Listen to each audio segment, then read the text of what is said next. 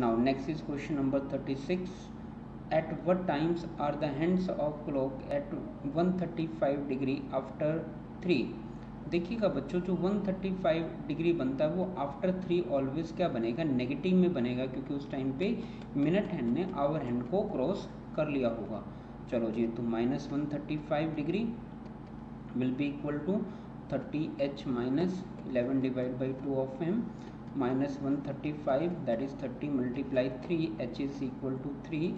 minus eleven divide by two of M तो ये रहा ninety eleven divide by two of M ninety plus one thirty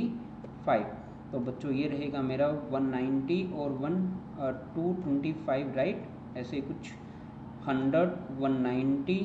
और one two twenty five right M will be equal to रहेगा four fifty divide by eleven तो ठीक है बच्चों eleven four ज़ा वन